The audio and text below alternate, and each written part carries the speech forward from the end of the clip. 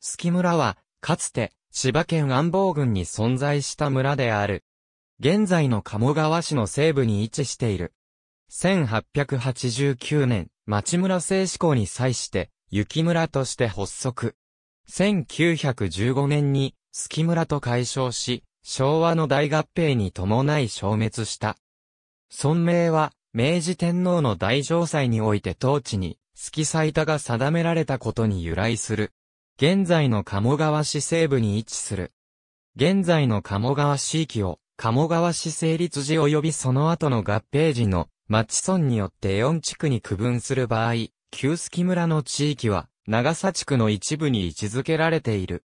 鴨川市域を、町村制施行当時の町村によって12地区に区分する場合は、月地区とされ、現在の大技では、成川、北小町、南小町、上小原、下小原、及び月西が含まれる。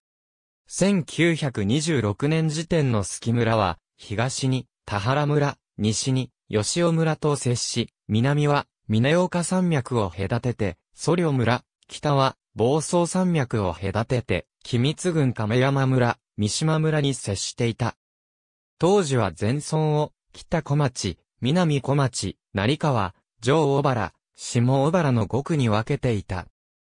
安房郡域の町村制施工事の町村1、北条町2、立山町3、豊津村4、西岬村5、富崎村6、長尾村7、豊房村8、神戸村9、立野村10、九十村11、稲、津村、平郡21、なぎ原村、後名湖町、22、船形村23、八塚村24、富浦村25、岩井村26、勝山村27、安田村28、佐久間村29、へぐり村30、滝田村31、国府村、朝比奈郡、41、白浜村42、七浦村43、朝日村、野土倉町、44、健太村45、千歳村、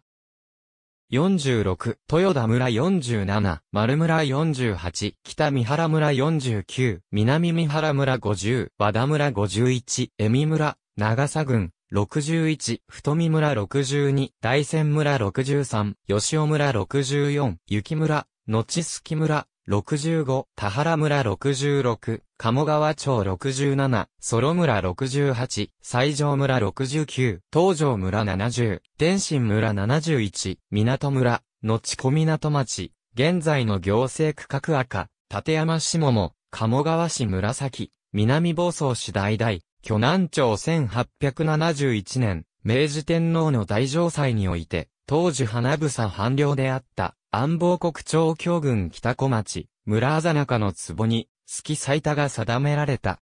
1878年、千葉県に郡区町村編成法が施行されると、北小町村、南小町村、成川村の連合と、上小原村、下小原村の連合が成立。1884年に二つの連合が一つに統合された。1889年、町村制の施行に伴い北、小町村、南小町村、成川村、上小原村、下小原村が合併し、雪村として発足した。この際、及び吉切村の一部も編入された。雪村の名は、大城祭で京米を献じたことを記念したものである。村役場は当初、北小町に置かれたが、数度位置を変更し、1910年に、村域の中央にあたる成川に移された。1915年に、月村と解消された。1888年に記された文豪取調べ文書によれば、住民は大旨農業で生計を立てていたとある。1926年の安房軍史によれば、村は純農村で土地が肥沃なため農耕に適するという。副業として、養蚕、畜産に従事する者が多く、また果樹栽培も盛んで、小原柿が知られていた。このほか新炭も多く生産していた。1916年に設立された、暴走連入株式会社は、地域の中小企業を統合していったが、1918年に南小町に、スキ工場を新設している。ありがとうございます。